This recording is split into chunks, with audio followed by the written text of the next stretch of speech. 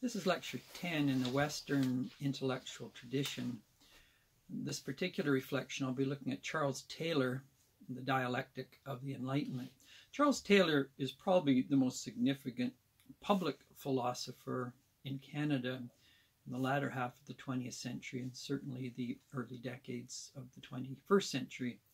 Taylor's won two major awards as a philosopher, worth a million dollars each, because of his ongoing reflections on the history of Western intellectual thought, Western political philosophy, and how we came to be where we are today. Taylor is probably the leading thinker in terms of justifying the Enlightenment project, but in a sophisticated, thoughtful, and nuanced way. So to know Taylor is, first of all, to be grounded in a significant Canadian thinker, but also a Canadian thinker who's thought broadly and deeply about the Western intellectual tradition, of which the Enlightenment heritage itself plays a significant role. I might add that in doing 311, poli sci through 11, we looked at the Western classical tradition, pre Christian, the world of pre Socratic Greeks, Plato, Aristotle, and then the broader Christian tradition, and how it synthesized the best of that Jewish, Greek, Roman heritage, and out of that came Christendom or Christian civilization itself, which began to break down with the Reformation, Protestant Reformation of the 16th century. Now, Taylor being Hegelian, and we've touched on Hegel in this course, and we'll be reflecting more on Hegel. Charles Taylor has written two massive books on Hegel, and he is seen as certainly a significant, although not the only, uh, interpreter of Hegel, because Hegel can be interpreted in a right wing manner, he can be interpreted in a centrist manner, and he can be interpreted in a left wing manner. Obviously, Karl Marx took Hegel and moved him in an economic left wing direction. There are many who see Hegel as a significant political philosopher in terms of social democracy, a centrist. And there are people who interpret Hegel's notion of freedom, particularly freedom of the marketplace, in terms of the dialectic of history. So much hinges on how Hegel is interpreted. And as I said, he can be um, read in different different ways. But Charles Taylor is a key interpreter of Hegel, and Hegel was probably one of the more significant philosophers of the Enlightenment, not only the German Enlightenment tradition, but the broader Enlightenment heritage itself. Uh, the dilemma of the, of course, the dialectical tradition of which Hegel is a key figure is that history is always somewhat less enlightened. It's a lower level of the dialectic of thesis, antithesis, synthesis. And so the past, in that sense, is at a lower level of understanding the nature of liberty or the consciousness of liberty itself.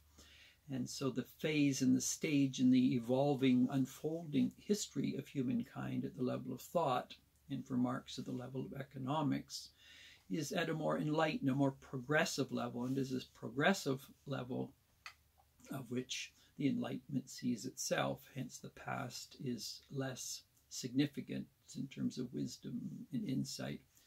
Now, Taylor buys into this Hegelian tradition, hence, when he deals with the classical past, he's inevitably distorting it to serve his own understanding of history as progress history as a dialectic ever forward into a more insightful, more enlightened, more progressive world view. But he does it in a thoughtful, he does it in an informed, he does it in a nuanced way. And part of that is the dialectic of the Enlightenment itself. Not only the dialectic of history, of how history is moving forward in a progressive manner, but the dialectic within the Enlightenment heritage itself. And so what I'd like to do is look at three elements of Taylor's thinking within that Enlightenment tradition and why he is a significant thinker in defending the Enlightenment project in the best sense of the word. And this is why Charles Taylor remains and will remain so an important uh, philosopher and political philosopher and probably one of the most significant Canadian philosophers as well. He's thought deeply about teaching as he did at McGill in Quebec, thought significantly about the English French question in Canada. I won't cover that as much in this lecture, but those who are keen in getting a sense of Taylor's Enlightenment dialectic within the English French and First Nations tradition itself, that's another path that could be taken in Taylor's thinking. But three areas I want to touch on in Taylor's Enlightenment project. The first is the epistemology.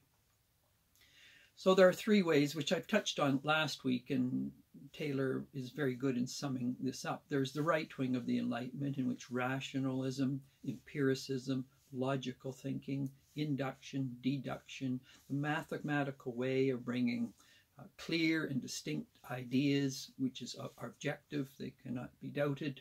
And it is this one way of the Enlightenment, a certain understanding of science, a certain understanding of reason. Of course, science can be defined in many ways as can reason, but this has dominated the right wing of the Enlightenment and has brought much good.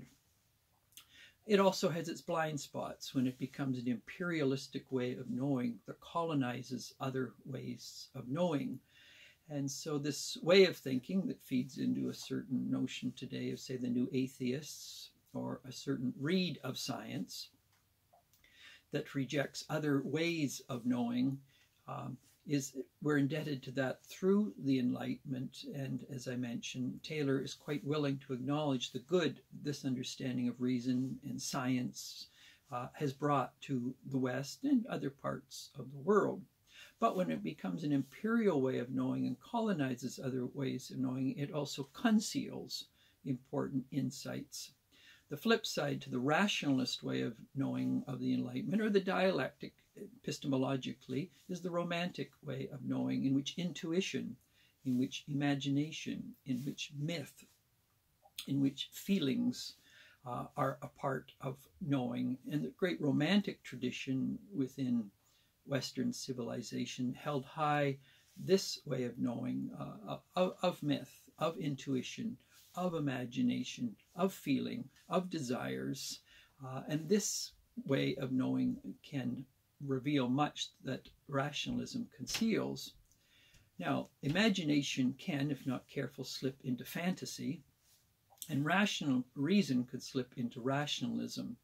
But both of these ways of knowing can reveal much good uh, when brought together in the service of opening up ways of understanding the human soul, of society, of politics. And this is the third way in that dialectic of the Enlightenment in terms of epistemology of ways of knowing, which is the humanist way of knowing. And so Hegel, like Taylor, stand within that humanist wing of the Enlightenment that does not priorize either the rationalist way of knowing or the imaginative way of knowing. Knowing both can go askew, both can conceal, both can become imperialistic, which colonize other ways of knowing, but both have goods to contribute when, in fact, they work together to open up um, the larger mysteries of life itself, recognizing there always will be mystery and um, a part of that, best of that Enlightenment dialectic is recognizing the journey ever forward as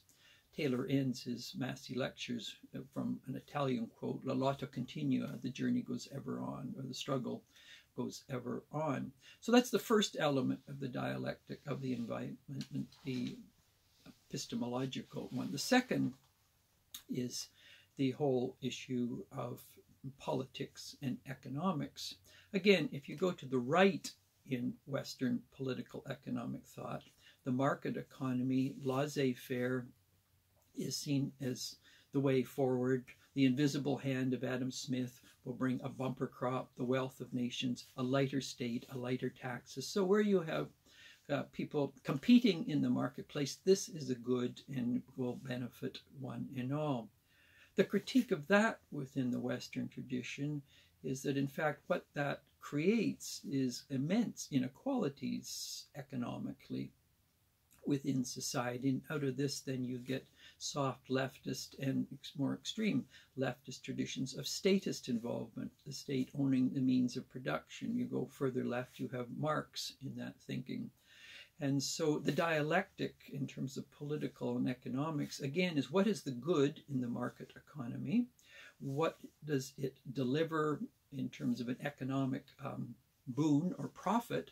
But where does it lead to injustice, inequalities? And how can more a social liberal tradition, or what we would call the welfare state, uh, come as a corrective? But then how does the market economy come as a corrective to too much state in, inter, in, involvement. So state and society in this dynamic interchange or dialectic is foundation. Very important to understand that Charles Taylor himself began very much as he was doing his graduate and doctoral studies in England. He was part of the labor movement, part very much of the leftist uh, political tradition. He ran against Pierre Trudeau in the 1960s. Trudeau at that point, even though leaning in the NDP tradition, didn't feel the NDP would ever become a party which would take power in Ottawa. So Trudeau, even though having a great deal of affinity with the NDP, ran Liberal, went on, of course, to uh, become the Prime Minister after Pearson left politics as Prime Minister. But Charles Taylor ran against Pierre Trudeau as an NDP. So Taylor Taylor begins his political journey, practically speaking, from theory to practice, in fact, running against Trudeau in the 1960s in Quebec. Um, so you can see in his thinking, uh, dialectically, he, he saw very clearly the problems of the right. He moves to the left, but increasingly, as Taylor journeys in his political life of social criticism, in which he critiques the liberal soft right tendencies and certainly the Conservative Party as he understood that. Uh, his social criticism was one, and this is another important dialectic, is that he came to see when you take too strong a position on anything, in this case, um, social criticism, it may blind you uh, to the insights of other perspectives. So, out of gradually Taylor's own thinking, he moves in a direction what we call uh, hermeneutical generosity, in which, yes, the left has its insight, but what may be the insights of the liberals and the right?